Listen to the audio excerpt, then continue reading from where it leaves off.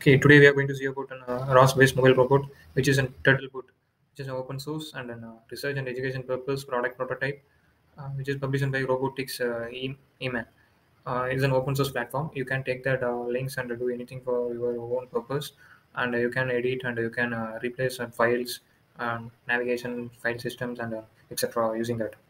Okay, for cloning the Turtlebot resource, so we need some basic Linux commands.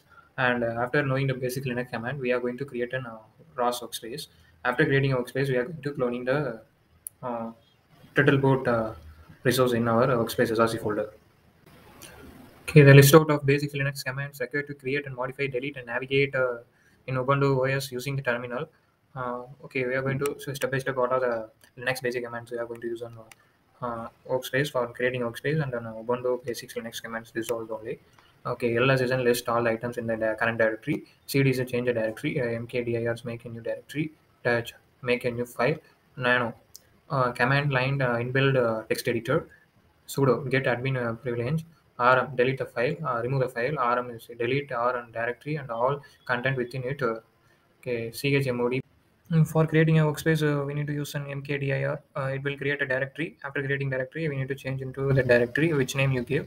After that uh, we need to create an src folder into the uh, your own name which ga- name you give to that first directory.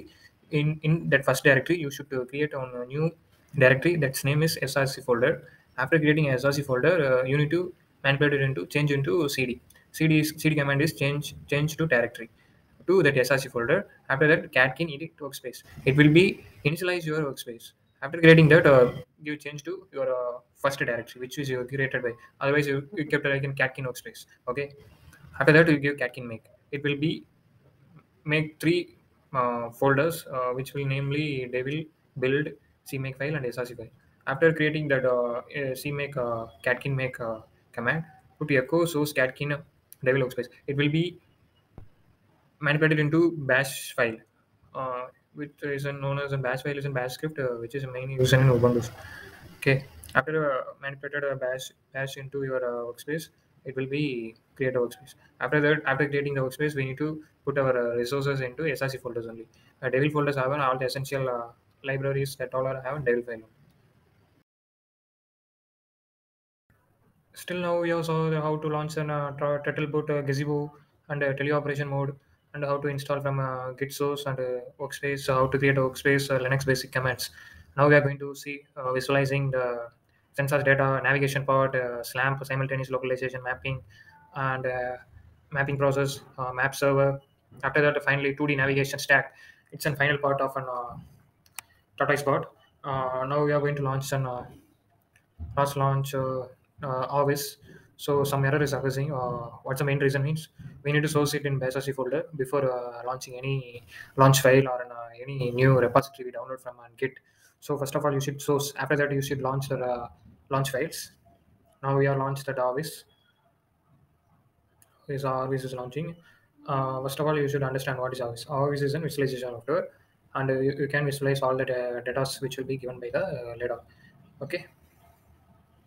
We are going to increase the LiDAR scan uh, output size uh, from 0.01 to 0.5. It will be visualized on very brightly. Okay. Uh, and also we are going to see the camera output value, raw image value. From uh, in hardware, we are uh, connecting the Raspberry and a Pi camera to Raspberry by using a peripheral, external peripheral. After that, in Raspberry, we need to change, to the home home uh, image to devil uh, devil uh, space. Uh, we, need, we need to change and we need to add some lines. After that, we can enable the camera. But in simulation, that's not a problem. We, we add only plugins from a official website. Uh, by using a ROS topic list, we can uh, see what are the topics running on uh, Gazebo. See that uh, TF, odometry, static and joint space, joint state, that all the topics are running. We can add my topics. What are the topics running on a ROS environment? We can add in uh, uh, obviously we can add IMU in uh, in this tortoise bot. Uh, t- sorry, tortoise bot isn't RigBetel Labs on. It's an uh, turtle bot. It's in robotics manual. Sorry. Or we can add uh, IMU data like that. Uh, all the things we can add. Okay. Uh, after adding uh, IMU data, we're going to make an uh, mapping process now gmapping some errors uh, we wrongly launched the file i think we need to first uh, export the home which home we are going to use and which robot we are going to use that uh, in uh, tata spot they are using two robots taking tata spot 3 and the tata uh, wall pi 3 okay It's- that's why that error i think now we are going to launch the map node map node we are going to launch in August. Uh, it will automatically make the map. Map is nothing but uh, is a navigation uh, stack. We are going to use the map process. Okay, it's an essential part. Uh, map is an essential one. Uh, for mapping, uh, a single way to perform the SLAMP is by uh, teleoperation. Uh, the robot is ex- exploring the environment and uh, observing the objects by using the robot uh, exteroceptive sensors. Uh, well, uh, creating well uh, creating uh, the map using the SLAMP algorithm and uh, in the file uh, after creating a SLAMP algorithm map uh, it will be saved by map server that map server will uh, have it will uh, save two types of file okay? It will uh, save two types of file namely dot .yaml and a pgm file okay? That which can be present in a occupancy grid map which is in grayscale ranging from an, uh, 0 to 255 okay? But typically to be in, classified into binary values occupied black or on white. But uh, .yaml file have an, uh, uh, some information about a map okay? Some uh, information uh, about the map which will have an uh, information means uh, the grayscale value from 0 to 255 but in a dot .yaml file we have uh, one pixel uh, equal to 0.05 meters and a YAML file okay Hmm. now now we are going to use an RQT graph and uh, making the virtual joystick and uh, visualizing the camera image by using RQT graph. By seeing the camera we can operate easily the robot in a virtual environment and also in a real world. And we are going to operate on a robot using a virtual joystick. Using virtual joystick we are moving the robot in uh, around the environment. Now the mapping process is going on it's going on uh, you see that uh, RQT graph is showing uh, RQT graph also visualization software okay? It's an uh, it show what are the topics run it will uh, manipulated in uh, RQD graph. After uh, now mapping for process is finished okay you see. Now the mapping process is finished. Now we are going to save the map using a map server okay? Run map server dot my map. It will be saved in our uh, workspace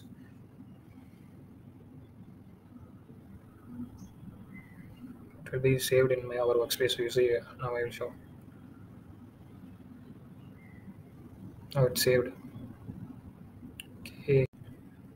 Okay since we finished the uh, mapping process uh, and save it in map server that map server will save the two types of files uh, .yaml and uh, pgm file format. After finishing the map process we are uh, get into that navigation part the 2d navigation stack that uh, takes information from the odometry the sensor streams using the sensor streams and uh, the uh, sensor streams and a goal pose and the output safe velocity commands will be control the pace of the robot. Using the odometry data and then uh, face velocity uh, safe velocity commands the robot robot base will be controlled by uh, odometries and the safe velocity commands.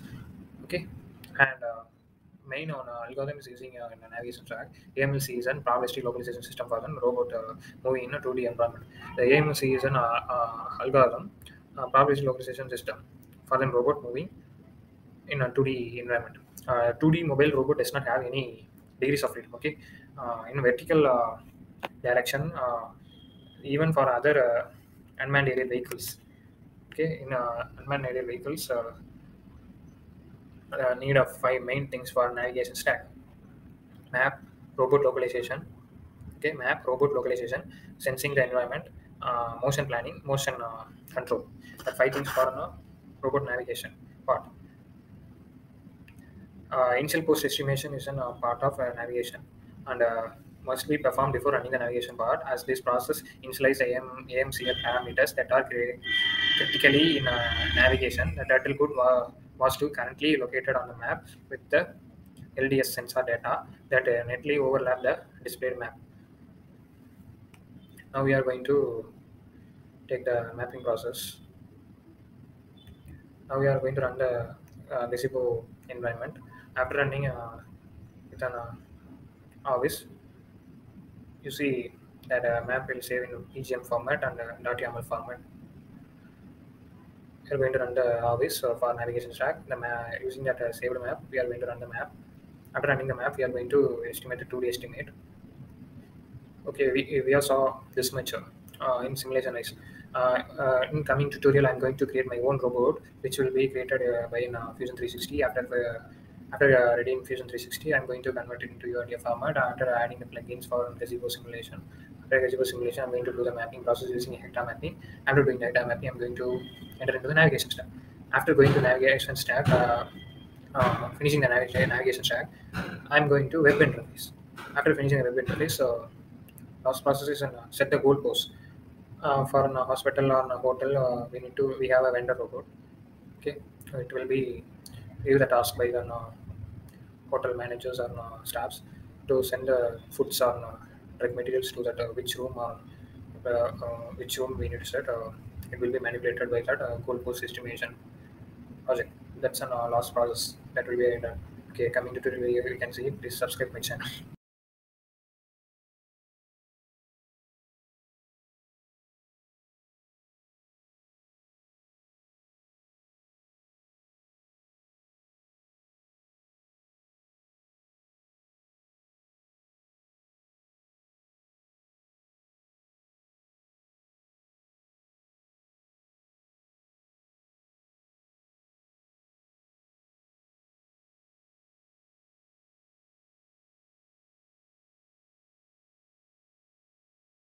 Okay, now we are going to create our own workspace by using the next commands, uh, mkdir and turtlebot. Uh, it will create an own workspace. After creating cd change directory, it will go to that uh, and make mkdir src. It will uh, it will make on a new directory to src.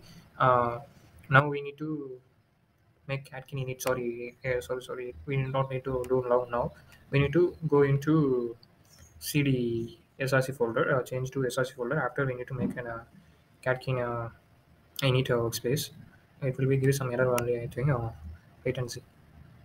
Yes, we, so here, so here uh, gives some error. So we need to move to SRC folder and make catkin init workspace.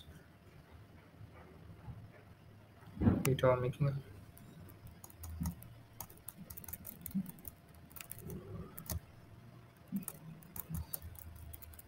ls it will show all the files which are in uh, workspace. Now make an catkin init. Catkin init workspace. Now uh, it will create a successfully. Now we need to come out from the directory. So, cd dot dot dot. Catkin make. It will make the three files so now it's ma- making. It's done. Now we need to source source it into bash rc file see here. Three files build devel src we need to make it to bash rc we need to source it into bash rc folder. So only we can uh, manipulate our uh, workspace. Okay now we are going to clone it uh, turtlebot 3 into our workspace. Uh, for all sources files uh, we need to clone into src folder only. Okay. This is an uh, turtlebot official website. Robotic eman see here uh, in simulation uh, we need to go to gazebo simulation. After that uh, we need to go into and get second one get clone that link. Copy and paste it in uh, terminal to src folder okay? Get cloning now. After cloning uh, we need to make catkin workspace okay? So only the essential files and uh, package will be created to the new one uh, source code for turtlebot now we need to make make. I think uh, it will come some error. Why, why this error means uh, we need not uh, download the essential uh, libraries and uh, sources from uh, turtlebot so we need to go to pc setup. What are the commands they give? What are the links they give? We need to download that one. See here we need to download this much commands first. After that we don't get any error like that. Copy and paste it Okay, now we are uh, copy and paste better. Uh, see that uh, some uh, packages are unlocated or error. What the main reason means, uh, first of all, once you go to download any new or download or install any new packages, you should do sudo apt upgrade. So all essential package first installed and servers are installed. After that, uh, you need to install other. Which resource you need? Uh, we need to copy and paste that uh, command. Okay. To that, the last three lines you should copy and paste it in your terminal. After uh, upgrading, uh, that error will be gone. I think. Yeah, so that error will be gone. It's installed successfully. Finally, make the Catkin workspace.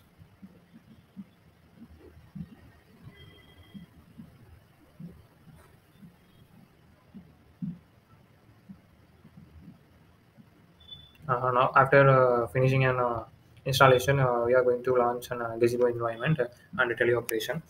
Uh, that link also, that commands also, they give a launch file commands.